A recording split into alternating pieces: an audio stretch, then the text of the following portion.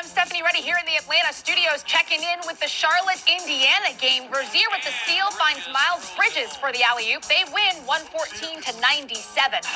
And then you take a look and see what's happening in Memphis. Ja Morant with the ball finds Dillon Brooks, and Dillon Brooks finds the bottom of the net for three. 12 points for Brooks.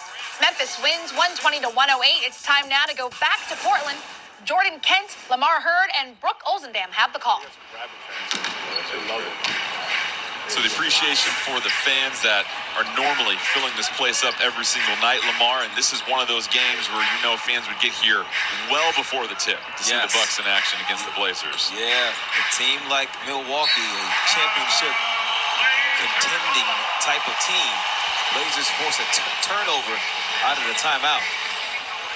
Fifth turnover of the quarter for the Bucks.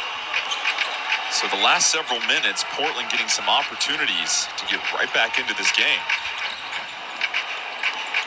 Here is Lillard trying to shake Holiday. Jones Jr. will try another three. Rebound to Portis.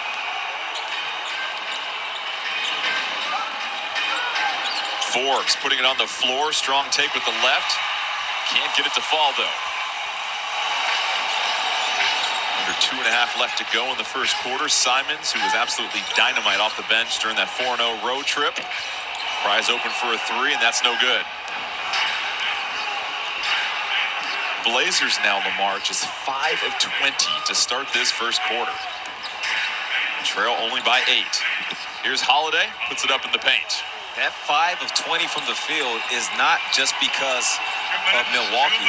Blazers missing a lot of good looks. You have to continue to trust in them and keep getting them. Again, another good look, but Kanter can't even get the put